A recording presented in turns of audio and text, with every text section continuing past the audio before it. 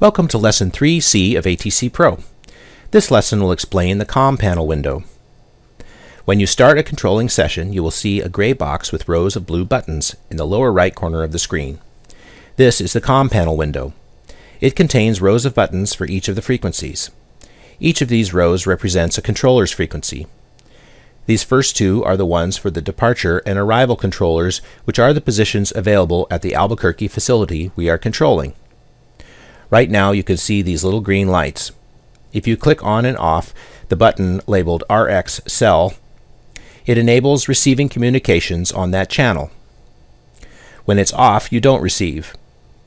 So let's make sure they're both switched on. With the TX cell on it means you can transmit on that frequency. When you are controlling on these frequencies, you want to make sure they're both lit up. The next one down is the tower frequency. So for now, let's leave that turned off because it's not one of the positions we can control and you can't select it for transmitting, just receiving. These other frequencies are center frequencies. We will leave those off for now.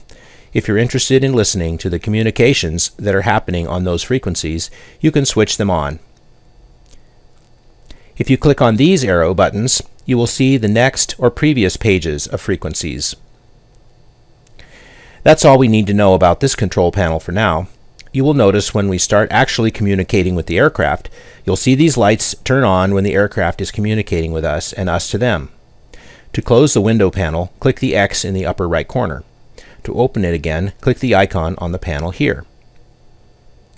Notice when you click on the COM panel window, the compass lines in the main radar scope turn red. This means the COM panel has focus in the program before you can enter commands on the main radar screen, you will need to click somewhere on the scope and the compass lines will turn white, indicating the scope now has focus. That's all for now on the COM panel window. The next lesson, 3D, will describe the communications history window.